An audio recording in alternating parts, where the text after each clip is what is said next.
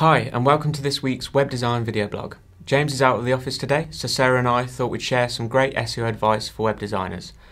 How many H1 tags you should use on each individual web page.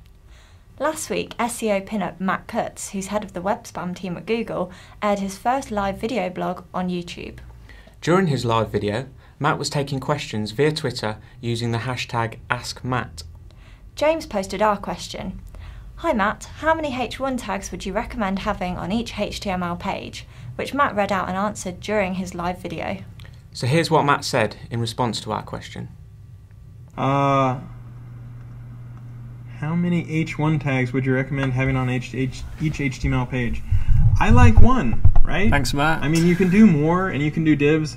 The thing that a lot of people ask about is, well, what if I use divs and I have like gajillions of H1 tags? And the simple answer is then we might not give them quite as much weight, right? And that makes sense. If your entire page is one long H1 tag and it's just been restyled to look like regular text, don't expect that to get quite as much weight as if you've got one or a small number of H1 tags. So, you know, hopefully that's relatively reasonable. That doesn't surprise people too much.